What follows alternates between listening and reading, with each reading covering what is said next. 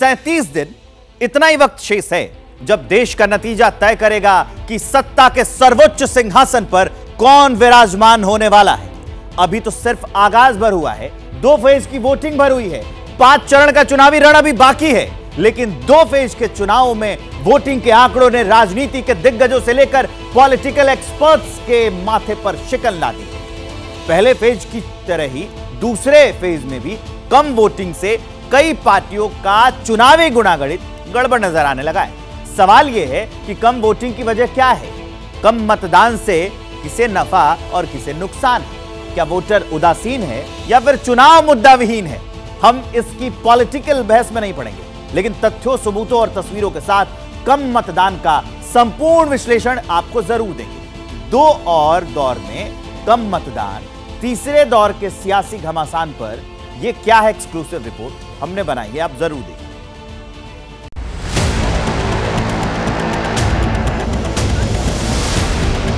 कांग्रेस और NDA alliance ने देश विरोधी और नफरत की राजनीति के दो सेल्फ गोल कर लिए हैं। उनके पास सबसे ज़्यादा सत्ता है उस पद की गरिमा को उस पद की गंभीरता को आधार बनाकर ऐसी बकवास की बातें आपके सामने ऐसे ही वार हुए पलटवार हुए बार बार हुए और अभी तो और होंगे।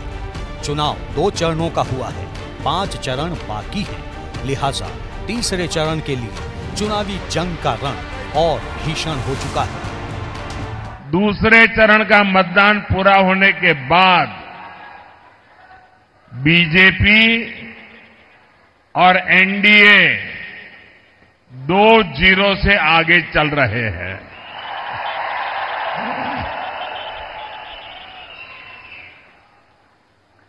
कांग्रेस और इंडी अलायंस ने देश विरोधी और नफरत की राजनीति के दो सेल्फ गोल कर लिए हैं। और इसलिए ये पक्का हो गया है। फिर एक बार फिर एक बार। तीसरे दौर के लिए धुआंधार प्रचार करने प्रधानमंत्री नरेंद्र मोदी मैदान में उतर चुके हैं। महाराष्ट्र के कोल्हापुर में रैली की और कांग्रेस को जमकर कोसा। जैसे ही कांग्रेस पार्टी और उसके दोस्तों को ये एहसास हुआ कि वो विकास के ट्रैक रिकॉर्ड में एनडीए की बराबरी नहीं कर सकते। उन्होंने अपनी रणनीति बदल ली। इसलिए इंडिया अलायंस वालों ने खुलकर देश विरोधी एजेंडा और तुष्टीकरण के हथकंडों का इस्तेमाल करना शुरू कर दिया है। महाराष्ट्र के अलावा पीएम मोदी ने गोवा में भी रैली की। अमित शाह ने गुजरात में मोर्चा संभाला। पब्लिक को कांग्रेस का दौर याद दिलाया। कमर निशान पर बटन दबाओ બંને ચરણમાં રાહુલ બાબાના સુપડા સાફ થઈ ગયા પૂર્વ પશ્ચિમ ઉત્તર દક્ષિણ મધ્ય જ્યાં જઈએ ત્યાં મોદી મોદી મોદી મોદી મોદીના નારા સમગ્ર દેશની અંદર ભારતીય જનતા પાર્ટીના કાર્યકર્તાઓનું સ્વાગત दो दौर की वोटिंग के बाद कांग्रेस ने भी तीसरे दौर की फील्डिंग सजा दी है प्रियंका गांधी ने गुजरात के वलसाड में प्रचार किया। कहानी सुनाकर प्रधानमंत्री की बयानबाजी पर चुटकी ली। घर में शादी होती है तो शादी के समय आपने देखा होगा, मैंने बहुत बार देखा है कि हमेशा एक अंकल जी होते हैं, जो कोने में बैठ जाते हैं और अपना छोटा सा दरबार लगाते हैं। लगाते हैं कि नहीं? और अंकल जी सबको अपना ज्ञान देते रहते हैं। अब देश की परिस्थिति ये हो गई है देश के सबसे बड़े प्रधानमंत्री जी जो सबसे बड़ा पद ले रखे हैं देश में, उस पद की गरिमा को, उस पद की गंभीरता को आधार बनाकर ऐसी बकवास की बातें आपके सामने चुनाव यूपी के सीएम योगी आदित्यनाथ फिरोजाबाद में थे। कांग्रेस और समाजवादी पार्टी पर जमकर निशाना साधा। बोले, नया भारत। केवल राम मंदिर नहीं बनाता, बल्कि आतंकवादियों का राम नाम सत्य भी करता है।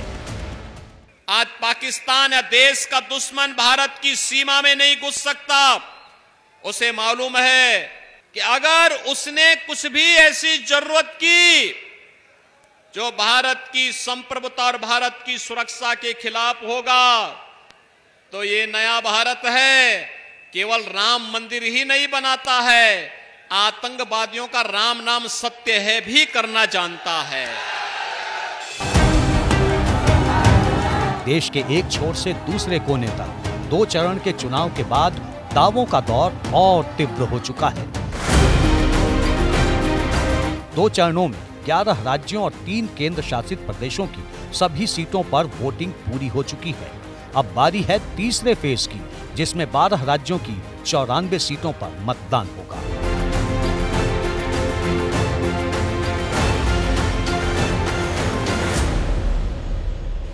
सात मई को असम की चार सीटों बिहार की पाँच छत्तीसगढ़ की सात सीटों के लिए वोट पड़ेंगे। इसके अलावा गोवा की दो गुजरात की सभी 26 सीटों के लिए वोट डाले जाएँगे। कर्नाटक में 14, मध्य प्रदेश में सात महाराष्ट्र में 11, उत्तर प्रदेश में 10, पश्चिम बंगाल में चार दमन और दीव में दो और जम्मू कश्मीर की एक सीट के लिए भी सात मई को ही मतदान है।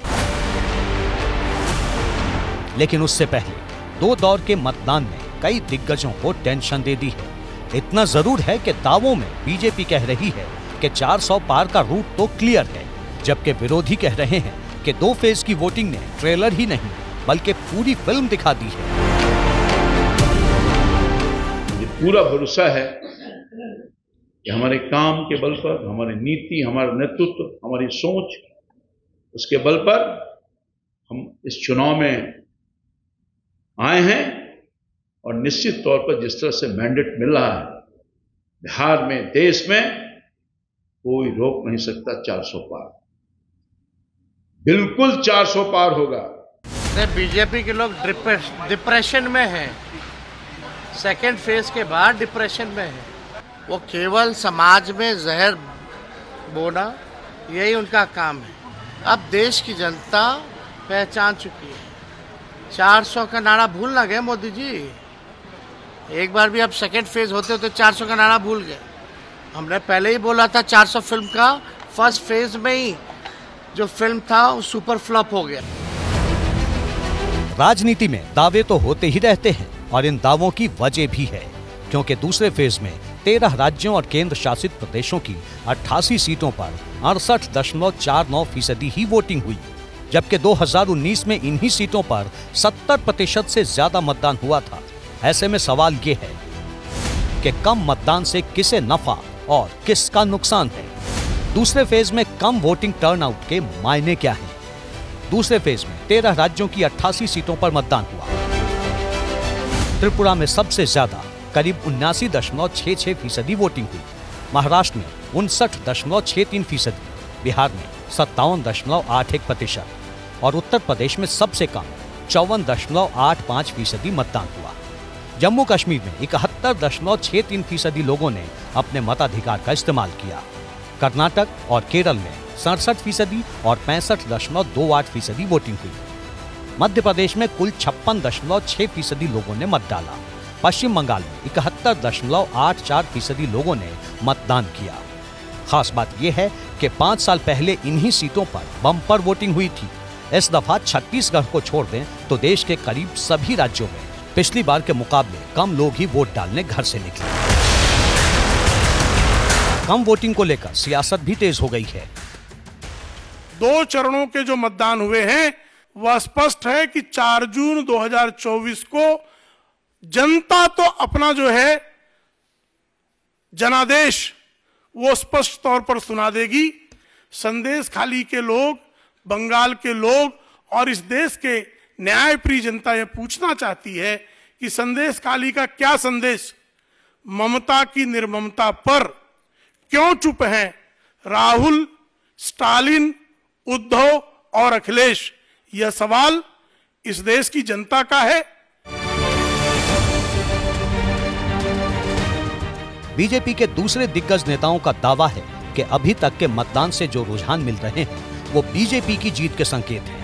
लेकिन विरोधियों को अभी से मौका नज़र आने लगा है। तेजस्वी यादव क्या कहते हैं? सुनिए। बीजेपी के लोग जो हैं भारी डिप्रेशन में हैं।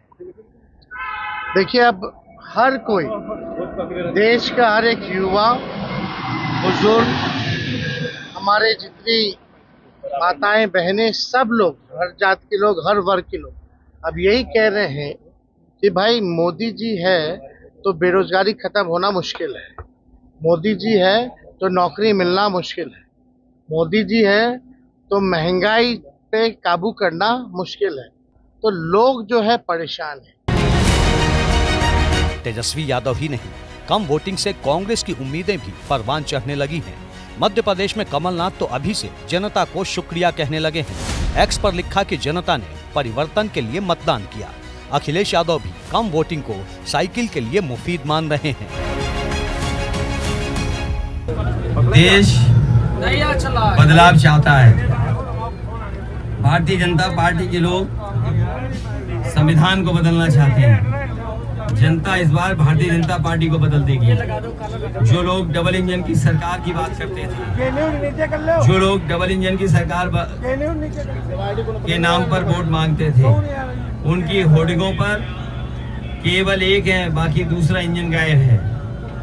तो जब एक गायब है जब वोट पड़ेगा तो दूसरे भी गायब हो जाएँगे।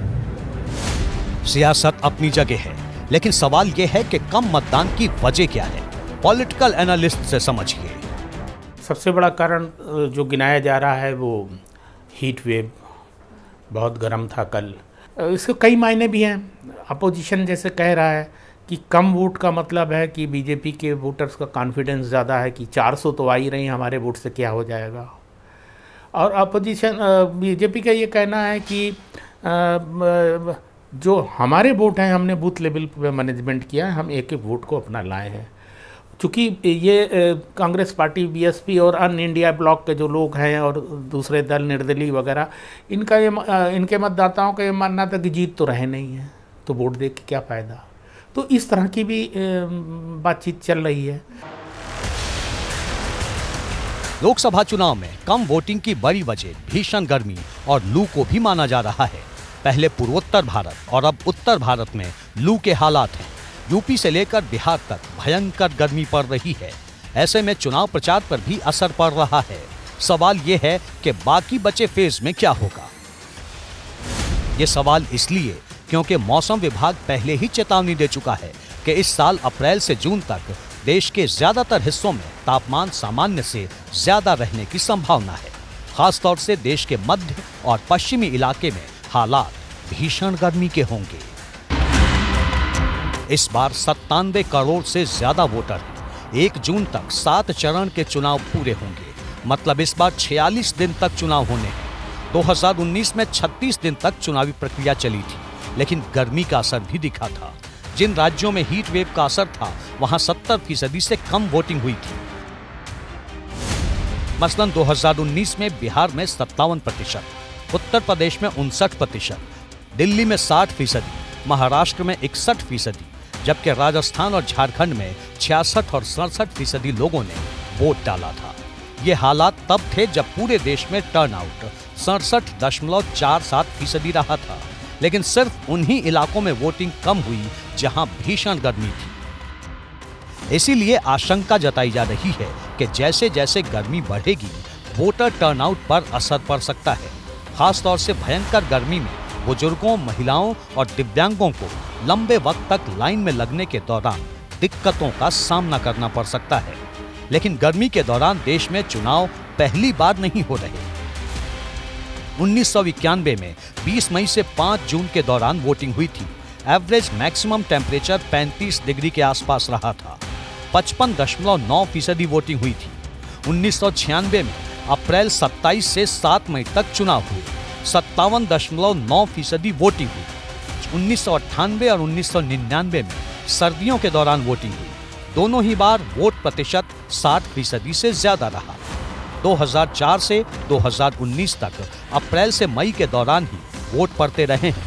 2004 में अट्ठावन फ़ीसदी 2009 में अट्ठावन दो फ़ीसदी, लेकिन 2014 में छियासठ दशमलव चार फ़ीसदी रिकॉर्ड वोटिंग हुई और 2019 में यह रिकॉर्ड बढ़कर सड़सठ दशमलव चार फ़ीसदी तक पहुँच गया। यानी गर्मी का वोटिंग परसेंट पर ज़्यादा असर नज़र नहीं आता। इसे लेकर यूनिवर्सिटी ऑफ़ लंदन की एक रिसर्च भी सामने आई थी। रिपोर्ट में 2008 और 2017 के विधानसभा चुनाव में वोटिंग के ट्रेंड को लेकर रिसर्च की गई है। रिपोर्ट के मुताबिक चुनाव के दौरान अगर गर्मी में एक डिग्री की बढ़ोतरी होती है तो करीब डेढ़ फ़ीसदी तक मतदान बढ़ जाता है। यानी अगर सामान्य से एक डिग्री ज़्यादा तापमान हो तो डेढ़ फ़ीसदी ज़्यादा लोग वोट देने घर से बाहर निकलते हैं। अप्रैल के महीने में गर्मी असर तो दिखा रही है, लेकिन लोकतंत्र के महापर्व को लेकर लोगों का जोश भी बरकरार है। लिहाजा सिर्फ़ दो फ़ेज़ की वोटिंग से किसी नतीजे पर पहुँचना आसान नहीं है। गर्मी बढ़ेगी वोट बढ़ेगा नतीजा क्या होगा महीने भर बाद ही पता चलेगा।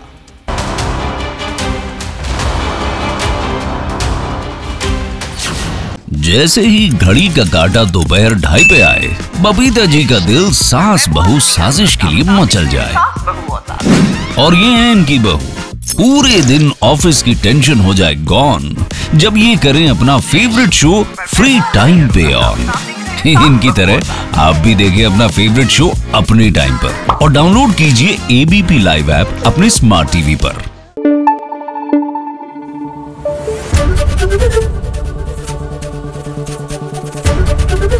एबीपी न्यूज़ आपको रखे आगे.